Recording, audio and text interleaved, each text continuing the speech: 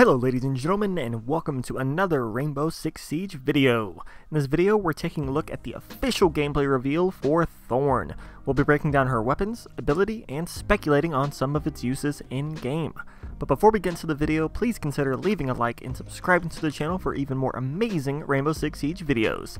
Plus you'll always have something to watch. It's a win-win. Now let's begin. First up, let's take a look at her loadout. Her first primary weapon and the newest weapon to Siege is the UZK-50GI, an SMG with 23 rounds in the magazine and a unique property. It fires 50 cal bullets, so in addition to being a seemingly pretty good SMG, it's also amazing at creating holes and destroying walls for your team, making those little peek holes and making sure everything can be set up properly. Other than that, she can use the M870 shotgun as her other primary, and for secondary, she has the TAC Ops 1911 or the C75 auto pistol, and her secondary gadgets that she can use are either barbed wire or a deployable shield, depending on what kind of strategies you want to go for. Moving on, we have her special gadget, the Razor Bloom Shell. The Razor Bloom Shell acts as an active landmine. She can throw it anywhere, since it sticks to just about anything and once thrown the shell will take a short moment to activate. Once activated, anytime an attacker walks into the radius, its fuse will begin, then it will explode, instantly killing any attackers still in its radius. As with any special gadget, there are a couple things to note. For starters, it looks like Thorn will start with 3 shells. Now remember, this isn't from a live build, so this maximum of 3 shells might change, but it looks like 3 is what we're getting. Next, the shell can be destroyed in many, many ways.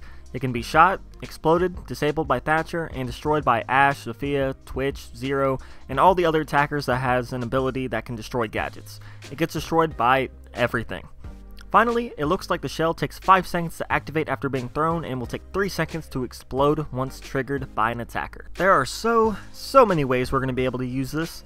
First up, we can of course use it as a trap use the UZK to open up a hole or a good hiding spot for it, then throw it there and hope the soft cover you hit it behind is good enough for an attacker to not find it before it detonates. Now that's the easiest way to use it, but just to be do that. Use the ability to stick to anything, then just really, really set it up in spots attackers won't be expecting. Then of course there are the synergies.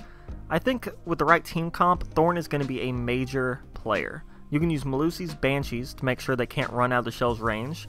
You can use the shell and a frost mat to funnel people into the mat to get downed and then killed by the shell. Then you could have Lesion lay down a Gu mine near shell so the attacker can't even run away if they get hit with the Gu mine first. There's just there's so so many opportunities for Thorn to synergize with her team and I can't wait to actually use these combos and have some fun with it in game. That's gonna be it for this video. I want to hear from you all. Do you like Thorn? Do you think her gadget is gonna be any good? And are you excited for her new SMG? I don't know, so let me know down in the comments below. If you enjoyed this new operator gameplay breakdown, please leave a like and subscribe to the channel for even more amazing Rainbow Six Siege content. I'm the Battle Moon, and I will see you in the next siege.